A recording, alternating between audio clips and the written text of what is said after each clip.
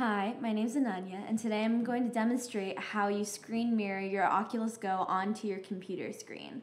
This can be really helpful if you want to show someone what you're experiencing in VR, or if you want to take a video recording of your VR experience for later use.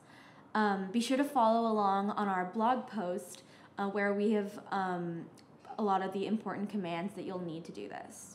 First, you'll need to set up your device. To do this, you'll need to install Android Debug Bridge or ADB onto your computer. And this can be installed with Android's SDK platform tools, which you can find at this link. Once installed, they should look something like this. You'll also need to download and install VLC Media Player, which you can find at this link. And once installed, should show up on your computer like this. Next, you're gonna need to put your Oculus Go in developer mode. To do this, you'll first need to enable developer mode in your Oculus account, and instructions have been provided here. Once that's done, you can open the Oculus app on your mobile device, specifically the one connected to your headset. And in the settings menu, you can toggle developer mode on. First, we're gonna talk about screen mirroring while your Oculus Go is connected to your computer.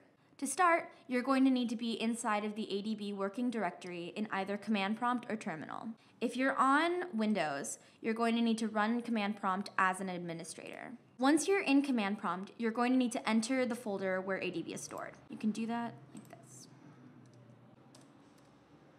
And you can just check to make sure that you're in there by calling ADB. You'll notice that we've highlighted two parameters, bitrate and path to VLC.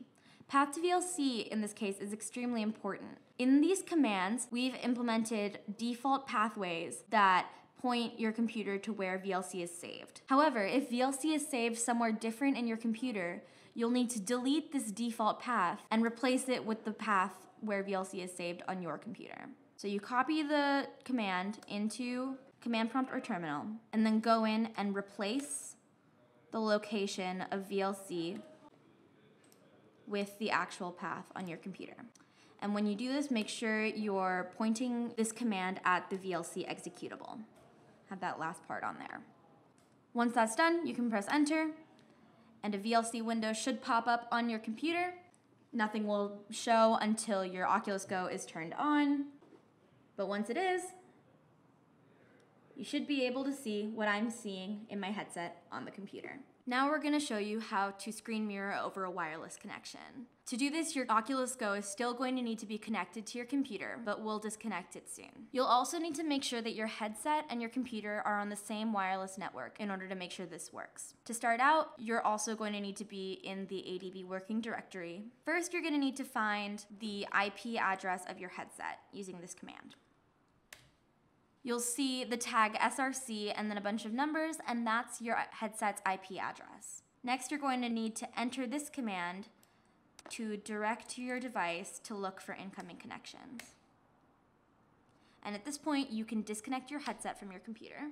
Now you'll need to establish your connection between the computer and your headset over the wireless network with the command adb connect plus the IP address that you received from the earlier step you'll see a message that your headset has connected, and now you can go ahead and copy in the screen sharing command. A couple things to notice before we press enter. You're still going to need to replace the location of VLC if VLC is saved somewhere else on your computer. You'll also notice that one of the parameters is slightly different than it was when we were screen sharing over a wired connection. This is the bitrate command. And right now we have it set to 2 Mbps instead of what it was before at 8 Mbps. The value of your bitrate parameter will correspond to your available bandwidth.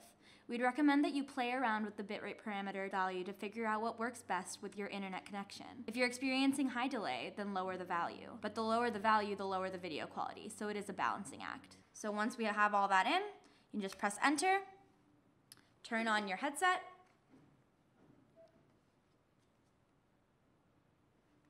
and now you're screen sharing over a wireless connection. All right, that's all we have for you today. Thank you so much.